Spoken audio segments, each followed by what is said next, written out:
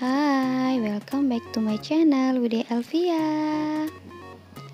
Di video kali ini aku bakal ngebahas uh, pertanyaan teman-teman apa aja sih isi dari tes uh, mahasiswa keperawatan apa aja sih alat-alat kesehatan alat-alat yang harus dipunyai oleh mahasiswa keperawatan Nah, di video ini aku bakal ngebahas satu persatu ya, teman-teman.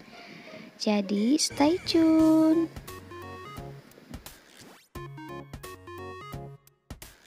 Oh iya, bagi teman-teman yang baru mampir ke channel ini, jangan lupa untuk subscribe dan buat teman-teman penonton setia aku, jangan lupa like, comment, and subscribe. Share juga ke teman-teman kalian ya.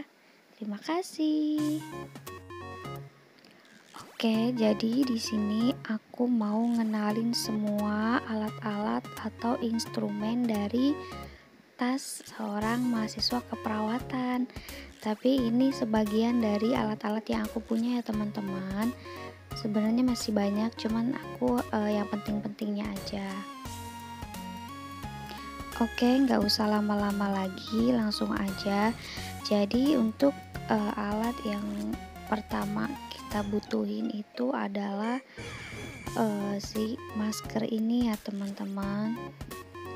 Nah ini tuh dibutuhin banget, apalagi kalau di ruangan untuk menjaga kita uh, dari penularan virus ya teman-teman. Lalu yang kedua kita juga harus punya hand sanitizer. Kalian bisa pakai merek apa aja ya.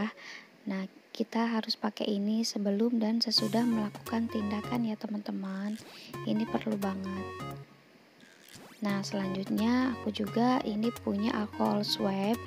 Uh, ini tuh kayak uh, buat sebelum kita injek obat atau apa pun jadi kita harus pakai kapas swab dulu ya teman-teman.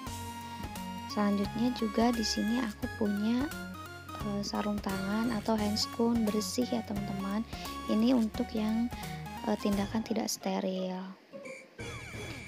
Kalau untuk yang sterilnya itu beda lagi.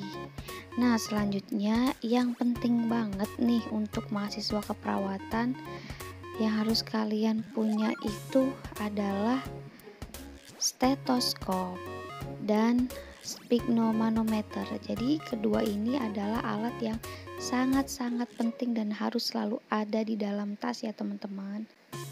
Karena salah satu uh, eh, TV itu atau tanda-tanda vital itu kita harus mengetahui tekanan darah pasien dengan menggunakan alat ini.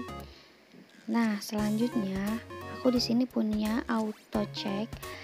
Uh, sebenarnya ini gak wajib banget ya kita punya uh, tapi karena aku tuh inisiatif sendiri jadi aku punya aku beli sendiri ya auto check ini untuk mengetes kadar gula dalam darah terus kolesterol dan asam urat gitu Nah, selanjutnya di sini juga ada bak instrumen.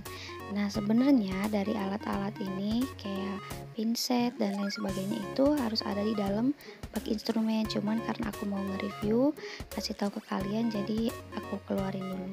Selanjutnya juga ada bengkok. Nah, ini tuh bengkok itu untuk eh, bekas-bekas sampah ya, teman-teman. Kita taruh di situ dan nanti disterilkan lagi. Selanjutnya di sini aku juga punya gunting ya teman-teman. Ini aku punya dua karena emang butuh banget sih selalu ada di kantong karena kalau di ruangan itu suka rebutan gunting buat uh, motong perban gitu. Nah aku biasanya ini sih yang taruh di dalam kantong aku dan yang satunya itu aku taruh di bak instrumen. Nah selanjutnya yang gak boleh ketinggalan banget ini adalah jam perawat ya teman-teman. Ini tuh wajib banget kita punya dan harus selalu menempel di baju kita. Karena e, dengan jam perawat ini kita bisa tahu nadi dan respirasi pasien dalam satu menit. Uh, salah uh, salah satunya itu buat ngecek di TV selain uh, tensimeter harus ada jam perawat juga ya teman-teman. Karena kita bisa mengetahui nadi dan respirasi pasien kita. Dan selanjutnya di sini juga nggak boleh ketinggalan yaitu termometer. Ini saking aku excitednya aku uh, punya dua ya teman-teman karena sering ketinggalan gitu. Jadi kadang satunya di tas satunya di baju. Jadi uh, suka ganti baju dinas tapi ketinggalan di saku gitu. Jadi aku beli dua buat jaga-jaga karena di ruangan juga suka rebutan. Jadi aku uh, punya dua. Selanjutnya di sini juga ada tourniquet ya teman-teman. Teman-teman yang belum tahu ini tourniquet itu untuk membendung uh, pembuluh darah ya teman-teman. Kalau kita mau ambil darah atau mau infus Nah, selanjutnya juga di sini ada Medline. Nah, ini aku beli karena ini penting banget kalau kita di ruangan anak atau enggak di ruangan maternitas ini tuh untuk mengukur e, lingkar lengan, untuk mengukur pundus uterus dan lingkar kepala dan lain sebagainya. Itu penting banget sih, teman-teman. Oke, next selanjutnya aku juga di sini punya pinset. Nah, di sini ada dua pinset. Yang pertama ada pinset anatomis dan pinset chirurgis ya. Ini tuh untuk uh, penting banget kalau kita ganti perban atau kita mau ngehacking pasien. Tapi ini sebelumnya harus disterilin dulu. Selanjutnya di sini ada ini namanya garputala ya teman-teman. Fungsinya itu untuk mengecek uh, pendengaran pasien kita. Ini kalau head tutup penting banget ya selanjutnya di sini ada tong spatel ini tuh fungsinya untuk uh, mengetahui refleks telan atau refleks muntah pada pasien kita gitu. Jadi uh, dimasukin gitu ke mulut. Nah, selanjutnya di sini aku punya namanya otoskop. Nah, ini berfungsi untuk mengecek telinga kita uh, apakah ada benjolan atau ada lesi atau ada sumbatan gitu Nah, by the way ini baterainya habis ya, jadi nggak bisa dinyalain. Selanjutnya di sini ada pen light ya teman-teman. Ini tuh fungsinya untuk memeriksa uh, refleks pupil mata kita apakah masih berjalan dengan baik atau tidak. Nah, selanjutnya di sini aku punya refleks hammer. Nah, refleks hammer ini penting banget ya untuk mengecek uh, respon atau uh, motorik kita, respon motorik kita. Nah, nanti tinggal dipukulin aja hati-hati di bagian lutut si pasien apakah dia ada refleks uh, refleks gerak kakinya atau tidak. Nah, nanti di bawahnya ini dia uh, punya kayak lebih tajam gitu. Ini tuh untuk ngetes apakah kubas atau enggak si kaki pasien itu nanti yang tajam ini kita tusuk-tusukin ke bagian kaki pelan-pelan aja tapi uh, dia ngerasain sakit atau enggak gitu. Jadi ngecek sarafnya juga.